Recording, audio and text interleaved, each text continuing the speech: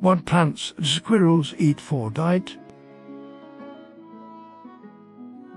Squirrels are omnivores, meaning that they eat a variety of foods including both plants and animals.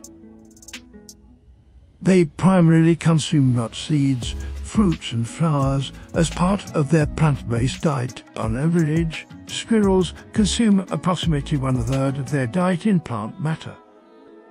Of this plant matter, they mostly prefer crunchy vegetables such as broccoli, green beans, spinach and corn.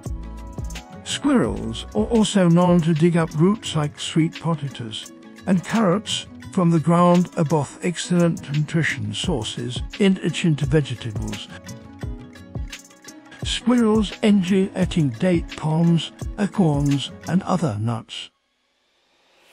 They may venture into gardens to feast on lettuce or tomatoes too.